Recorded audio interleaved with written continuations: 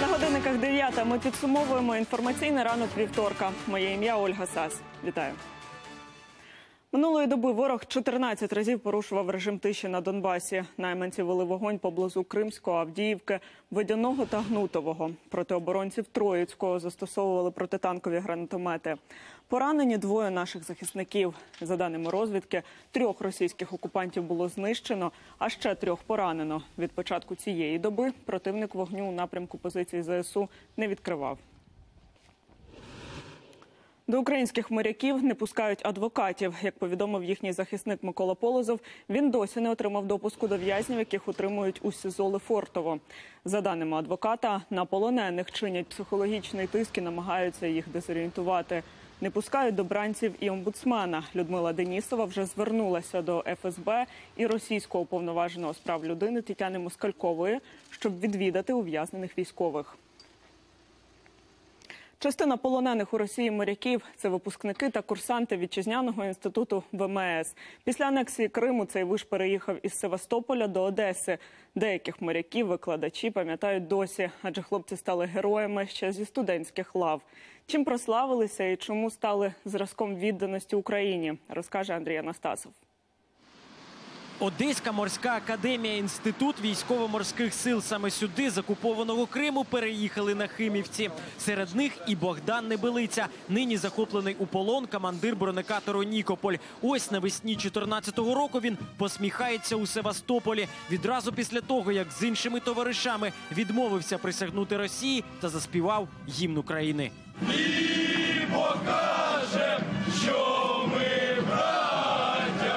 Творчий, вдумливий, працелюбний. Так говорять про свого випускника Богдана викладачі. Ще один полонений їхній курсант Владислав Костишин також переїхав до Одеси з Криму. На бронекатері стажувався один з найкращих на своєму курсі. Я більш ніж впевнений, що ці хлопці морально стійкі, сильні і віддані народу, щоб пройти через ці випробування. У мене в цьому особисто сумнівів немає з особистого спілкування і знання цих військовослужбовців.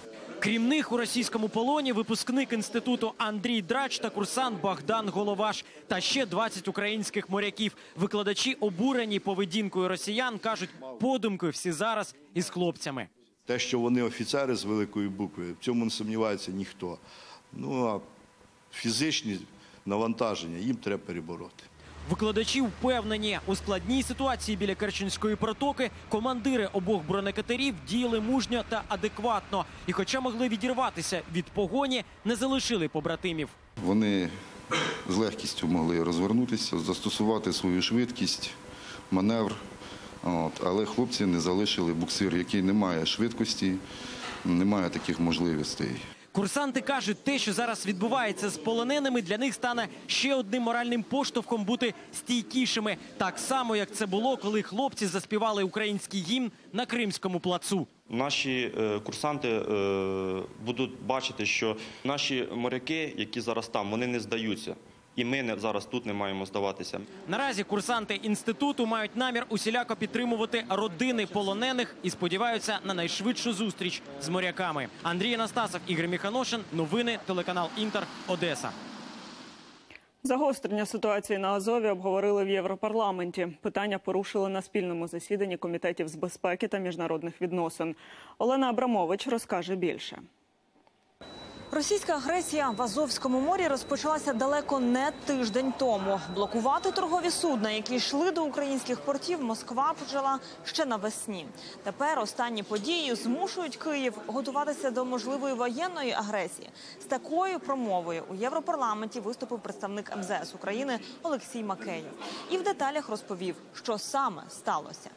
Росія відкрила вогонь. Український екіпаж не відкривав вогонь у відповідь. Після застосування зброї було захоплено три українських кораблі у міжнародних водах. Це можна розглядати тільки як акт агресії проти України, посилаючись на резолюцію Генеральної асамблеї ООН від 1974 року. Київ очікує від Брюсселя посилення санкцій проти Москви, заявив Макеєв. На тому, що наявних обмежень недостатньо, наголосила й аналітик центру європейської політики Аманда Пол. І попередила, є величезний ризик, що Росія закриє Керченську протоку та відріже цей економічний район України від світу. Окрім санкцій, потрібні й міжнародні спостерігачі. Має розгорнутись міжнародна моніторингова морська місія в Азовському морі та Керченській протоці. Росія звинувачує Україну, Україна Росію. Тому міжнародна місія дасть змогу отримати повну картину, і це також допоможе запобігти подальшій ескалації ситуації. Також аналітик закликала зміцнити обороноздатність України, надавши їй воєнні кораблі. Утім, представник НАТО зазначив, це можуть бути лише окремі ініціативи країн альянсу. Загалом же і НАТО, і ЄС згодні. Росія перейшла межу в Керчі. Немає жодних виправдань такого використання воєнної сили проти українських кораблів і військово-морського персоналу. І звичайно, ми закликаємо негайно звільнити екіпаж та кораблів. Таке застосування сили Росією на тлі все більшої мілітаризації території є абсолютно неприйнятним. Ми закликаємо до негайної деескалації ситуації і очікуємо на швидке звільнення кораблів та членів екіпажу. Наголосили і на необхідності допомогти Маріупольському та Бердянському регіонам економічно. Що ж стосується нових санкцій, то у євроінституціях уже обговорюють це питання. З Брюсселя Олена Абрамович, Вадим Свиридонов, Європейське бюро телеканалу Інтер. Закрити порти Європи та США для російських суден і подивитися на північний потік 2 через політичну призму закликає Аннегрет Крамп Каренбауер. Вона генсек Християнсько-демократичного союзу Німеччини та один із головних претендентів на посаду лідера партії. Що стоїть за гучною заявою політика, яку називають наступницею Ангели Меркель, розповість Тетяна Логунова. За кожною політичною заявою Аннегрет Крамп-Карренбауер німці зараз стежать дуже пильно. По-перше, вона генсек Християнсько-демократичного союзу. По-друге, вже цими вихідними має великі шанси очолити політсилу замість Ангели Меркель, яка відмовляється від посади за власним бажанням. А лідерство в партії це в майбутньому і заявка на крісло канцлера. Найрейтинговіше політичне телевізійне шоу Німеччини. Тема ескалація в Азовському морі серед гостей. Претендентка на посаду лідера ХДС Аннегрет Крамп-Карренбауер. І пряма відповідь на пряме запитання. В одному з інтерв'ю ви заявили, що цитую: треба заборонити російським суднам, які прямують з Азовського моря, заходити у європейські та американські порти. Це означає, що під вашим керівництвом Німеччина сильніше тиснутиме на Володимира Путіна. Уже роками ми запроваджуємо санкції, яких я вважаю, маємо дотримуватися. Та якщо вони не зупиняють президента Росії, як ми бачимо з останніх подій, постає запитання, що ми можемо зробити, щоб Азовське море було відкритим для міжнародних суден. І справді, один з варіантів, доки питання не буде вирішено, не пускати російські кораблі, які прямують з цього регіону в європейські та американські порти. Ще один інструмент тиску газогін Північний потік 2. Крамп-Карренбауер вважає, цей проект треба заново оцінити через політичну призму. Ми повинні більше брати до уваги побоювання інших європейських країн, зокрема і України. Потрібно подивитися, як ми можемо вплинути на обсяги прокачку газу цим трубопроводом. Уже наприкінці тижня ці заяви можуть стати офіційною позицією лідера християнських демократів. Якщо делегати партійного з'їзду вирішать, що саме Аннегрет Крамп-Карренбауер має очолити політсилу. Конкурентів у неї двоє: міністр охорони здоров'я Німеччини Єнс Шпан і колишній керівник фракції ХДС ХСС у Бундестазі Фрідріх Мерц. Тетяна Логунова, Павло Лисенко. Новини німецьке бюро телеканалу Інтер. У Дніпрі в приватному секторі на вулиці Мандриківській стався вибух у житловому будинку. Травмована господиня, 84-річна пенсіонерка. Зі струсом мозку її доправили в лікарню. За попередньою версією здетонувало через витік побутового газу. У поліції відкрили кримінальне провадження, порушення вимог пожежної безпеки. Мертва риба і зелена сморідна вода. Так нині виглядає річка Збруч на Тернопільщині. Одна з приток Дністра. Уже багато років її нещадно забруднює місцеве підприємство, зливаючи небезпечні відходи без очищення. Що кажуть екологи та куди дивиться місцева влада? Далі. Смердить страшно. Бачимо, як вода валить так. Відходи скидають сильно. І от пішла, пішла дуже гарна водичка, бачимо шум такий. І от річка, дорогі зрителі. Нечистоти з цієї труби тут зливають постійно. Сотні тонн течуть просто в річку Збруч. Це видно, що воно свіже, от трошки підмерзло. Ці стоки залишки від переробки яблук та промивання обладнання, кажуть активісти. Їх зливає в річку місцеве підприємство, на якому виготовляють яблучний концентрат. Уже 15 років воно працює в селищі Скала Подільська. Селяни почали боротьбу з підприємцями три роки тому, після того, як у річці стала масово гинути риба. Викликали екологію, викликали поліцію. Не один рік цим, цією справою займаємося. На даний час результату немає. Влітку дуже сильний запах. І ну, через це неможливо ні відпочити просто на природі і ну, купатись, звичайно, що страшно. Чому на підприємстві немає очисних споруд? Дізнатися в керівництво ми так і не змогли. На завод нас не пустили. Проте вдалося потрапити на фільтраційні поля. У цих занедбаних резервуарах і зберігаються всі відходи заводу. Їх мали б очищати за сучасною технологією з використанням спеціальних бактерій. З одного резервуару просто перетікає в другий резервуар, резервуар е, свіженьке, тепленьке, яке зразу подається на трубу в річку Збруч стікає. Місцева влада проблеми зі стоками не бачить. Мовляв, до заводу жодних претензій. У нас і селищного немає очисних споруд. І дай Бог, щоб в нас ще були такі самі очисні споруди, як на тому заводі. І щоб на всіх заводах такі були. Іншої думки екологи. Два роки тому в цих стоках виявили каустичну соду, токсичну сполуку, яка спричиняє опіки. Цього року вже двічі проводили заміри. В останні показники перевищили норму десятки разів.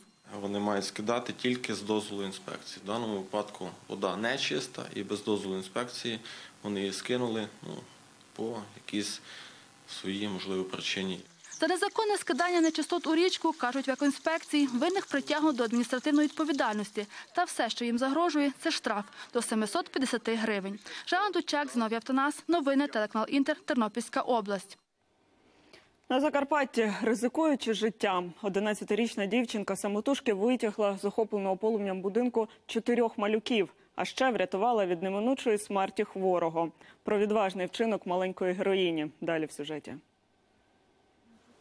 Того вечора 11-річна Софійка прокинулась від різкого запаху диму. Побачивши, що будинок палає, дівчинка, не вагаючись, кинулась рятувати молодших братів та сестру. Діти були вдома самі. Мама з найменшим сином поїхала до райцентру в лікарню. Я брала дітей, тут я сідала, я опускалася долу і так я їх носила. Так, через вікно по черзі Софійка винесла захопленого полум'ям будинку півторарічного Степана, п'ятирічного Михайлика, шестирічного Іванка та дворічну сестру Марічку. Потім покликала допомогу сусідів, аби ті врятували з вогню дядька, прикутого до ліжка через параліч. Про себе, каже, тоді навіть не думала. Я боялася за братиками, за сестричками, вони маленькі. Я можу скасити з вікна, вони ще маленькі, вони ще не ходять. Урятованих малюків навіть не ушпиталювали. Усе завдяки вправним діям їхньої старшої сестрички, кажуть медики. Якби вони їх евакуювали наступним чином е, через двері, то звісно вони б могли отримати опіки і отримати отруєння чадним газом. Адже в той момент, коли виникла пожежа, коли вони її виявили, то будівля вже майже вщент заповнилася чадним газом. За неймовірну відвагу Софійку нагородили грамотою та мобільним телефоном. Це дійсно дуже смілива дівчина. Я хочу тобі вручити подяку за самовідданість, мужність та героїзм. Ще одну нагороду маленька героїня отримає вже наступного року в Києві. На щорічній всеукраїнській церемонії герой-рятувальник року. Та нині Софійці не до цього, адже її багатодітна родина більше не має де жити. Вогонь ущен знищив їхній будинок. На якийсь час їх прихистила в себе родичка. Тепер майже два десятка людей з дітьми тісняться на неповних 20 квадратах. Сини з е, жінкою спить собі на цю кровать. Ми спимо на одну кровать. Е, Раз, два, три, чотири, п'ять і я шоста. А мої вже племянники, що я їх приїхав, ми їм стелимо матрас на всю хату. Тим часом погорільці сподіваються на допомогу небайдужих. Вірять, що в когось знайдеться старенька хата, де сім'я зможе тимчасово оселитись.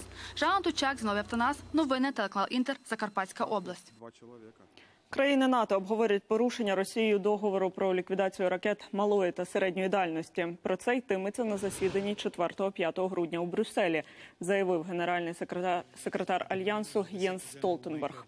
Організація закликає Росію до прозорого дотримання угоди про роззброєння, інакше обіцяє рішучі дії у відповідь.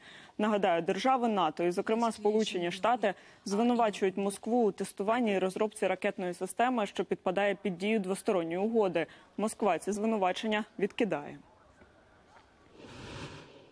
Відставки уряду вимагають протестувальники у Франції. Інакше обіцяють продовжувати акції непокори. Чи запровадять в країні надзвичайний стан? І як оговтується Париж після руйнувань у матеріалі Світлани Чернецької. Новий день, новий протест. Слід за жовтими жилетами вийшли білі халати. Водії машин швидкої допомоги заблокували рух у центрі Парижа та підпалили шини. Вони невдоволені реформою фінансування медзакладів. Через неї багато приватних швидких можуть залишитися без роботи.